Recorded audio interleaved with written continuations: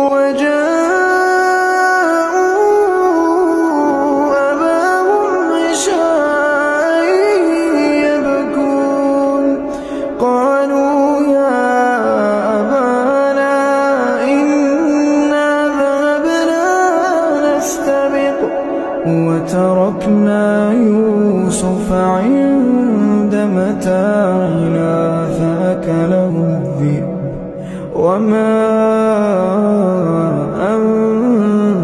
بمؤمن لنا ولو كنا صادقين. وجاءوا على قميصه بدم كذب.